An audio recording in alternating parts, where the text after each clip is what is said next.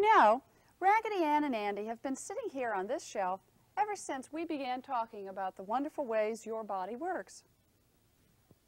Do you think they have learned anything from what we've been talking about? What do they know? Anything about anything? Why not? Raggedy Ann and Andy are very pleasant rag dolls, but they aren't living things with the ability you have to know, and they don't have the equipment you have to find out about the world around them. What equipment do you have? How come you know so much? Well, first of all, you have a brain that lets you learn and remember what you've learned. And then you have eyes to see with, nose to smell with, ears to hear with, tongue to taste with, and skin all over your body to feel with. All of these organs, your eyes, ears, nose, tongue, skin, are all part of your body equipment. They are called your sense organs. They sense or feel what's going on in the world outside your body. Their job is to report to your brain and tell it what it needs to know to keep you alive. How do these messages get to your brain? How do the messages from outside your body get to your brain, inside your body? They travel on a network of nerves. Big nerves, like cables, medium-sized nerves, like wires, tiny nerves, like fine threads, run everywhere, all over your body. And as you can see, many of them begin and end in your sense organs. They carry thousands of messages to and from your brain every minute. And what messages are your sense organs sending to your brain right now? What about your eyes? What are they doing? They're taking pictures. Nerves in the back of your head are sending messages to your brain about what I'm wearing, where I'm standing, what I'm holding in my hand. Your eyes are like cameras, taking pictures of me and everything around me.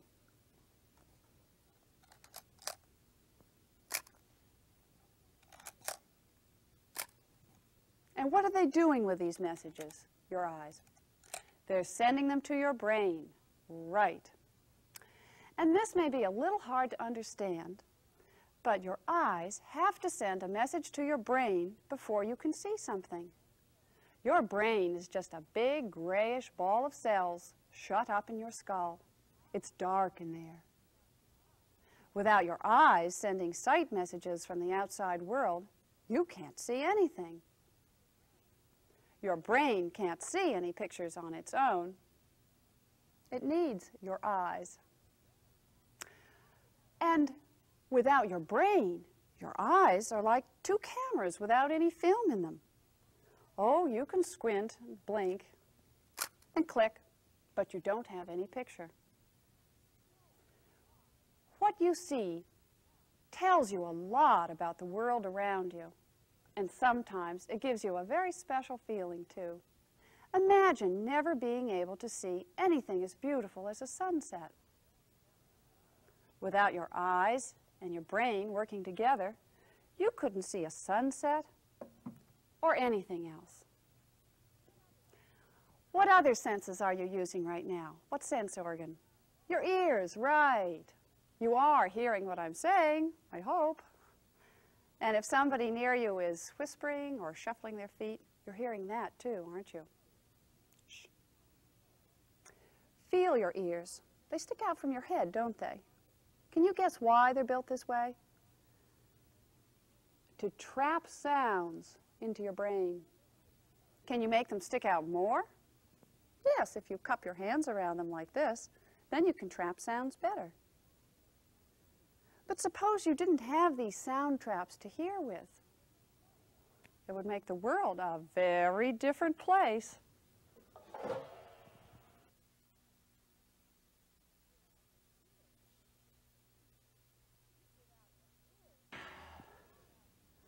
Without your ears sending you sound messages, you couldn't hear anything at all. Your brain and your ears must work together. Well, you're seeing me with your eyes and you're hearing me with your ears. Are you using any other senses right now? Is your sense of touch working? How? You probably have to stop and think about that for a minute.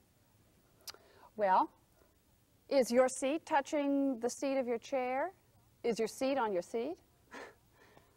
well, how does your chair or whatever you're sitting on feel? Raise your hand if it feels hard, like what I'm sitting on.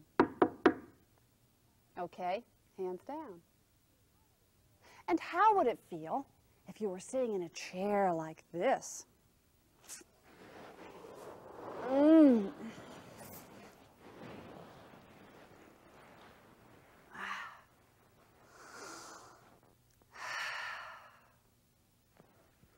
Yes, very soft. So you see, your body can tell the difference between things that are soft and things that are hard. Your body can also tell the difference between oof, hot water and mm, cold water, rough things like sandpaper, smooth like this tabletop, fuzzy like the silky elephant, Ugh, and painful like the stiff brush. And as you probably know by now, the nerve endings in your skin send the messages, but it's really your brain that feels.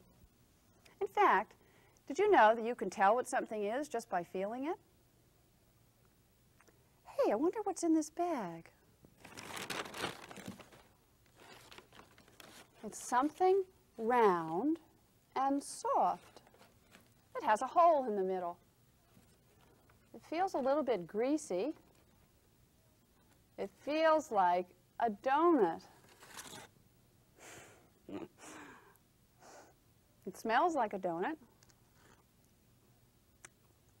It tastes like a donut. It is a donut. Mmm. Tasting good things to eat, like donuts, makes life more enjoyable. Your tongue is really a very important sense organ. But funny as it sounds, you know, it's really your brain that does the tasting.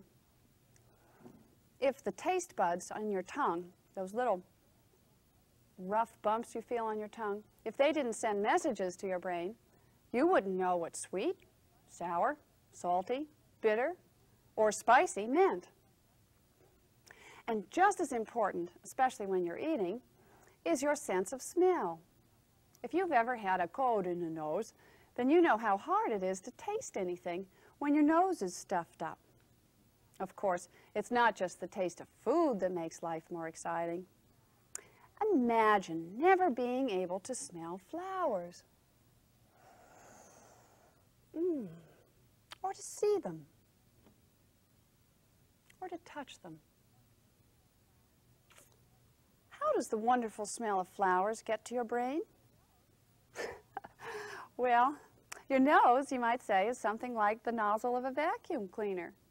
It scoops up smells like a vacuum cleaner scoops up dirt. And then nerves at the back of your nose send those smell messages to your brain. Well, how come you know so much? Because from the day that you were born, you have been receiving millions and millions of messages a day. And your brain has been busy recording everything you see, hear, smell, taste, or feel. I never would have known that good tasting food was a donut if I hadn't seen one before and remembered it. Your sense organs are the best teaching machines in the world. That's how come you know so much. Suppose, starting today, this minute, you could no longer use your sense organs. How much would you know? Well, yes, you know, your brain would know what it knows now. But how much more would you learn if your senses weren't telling your brain anything. Wouldn't it be like spending the rest of your life in a black box like this one?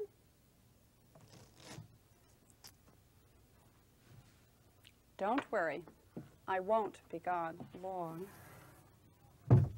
Oh my gosh, it's black in here. I can't see a thing. Ooh.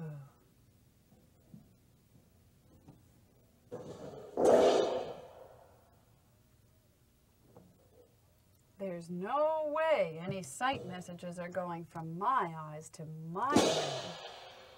Oh, well, there's nothing special to see anyway. And I can't hear anything, except myself. Ugh. Hmm. Oh, well, but there's nothing in the room making noise anyway, is there?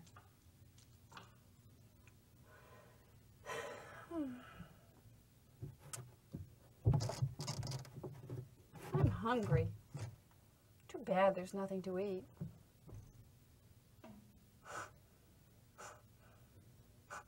There isn't even anything to smell. I wish I could smell those flowers again. Golly, I thought my room was empty until I got in here. Oh, I'd like just to walk around and touch all my favorite things. I have such nice things in my room. Hmm. This is nothing. Where did I ever get an idea to try this experiment? This is really dull.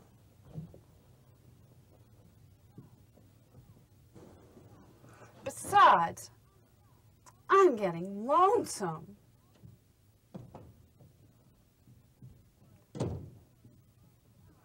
Think before I lose my senses, I'll come out and use my senses.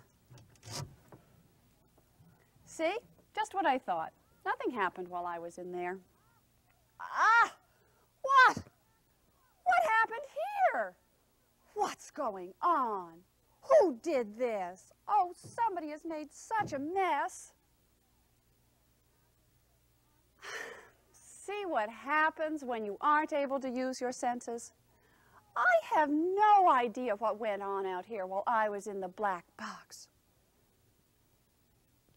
And I guess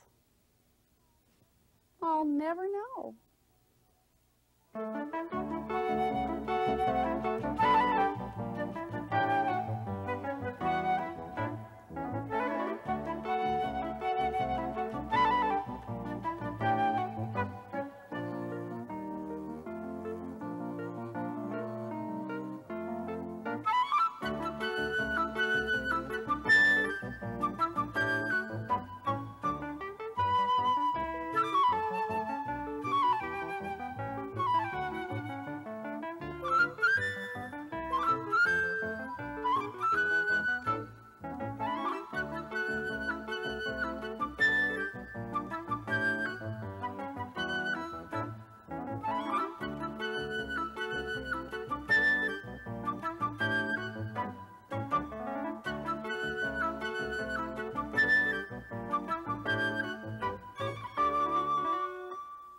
All About You is a project of the Agency for Instructional Television.